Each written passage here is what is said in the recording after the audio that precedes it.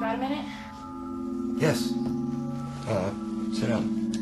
What can I do for you? Uh, I just need someone to talk to, I guess. Now, I could set you up with an appointment with the school counselor, though. And she might be able to help you if you're struggling with this, or if it's affecting your study. Well, uh, I don't want to see a counselor.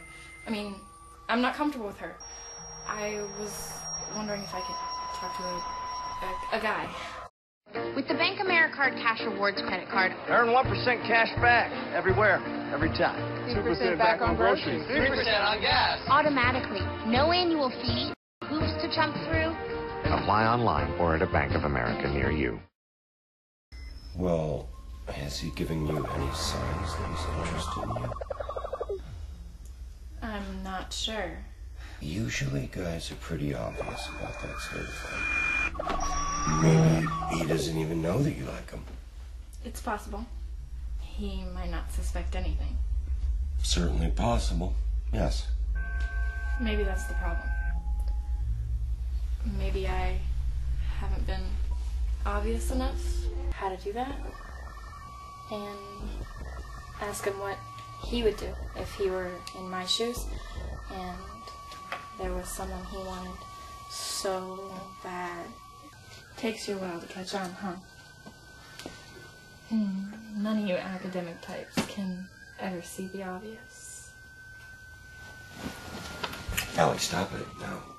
This is a very big violation.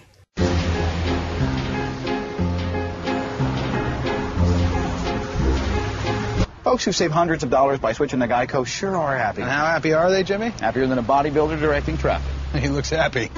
Get happy. Get Geico. This is just really not a good idea. It's really not a good idea.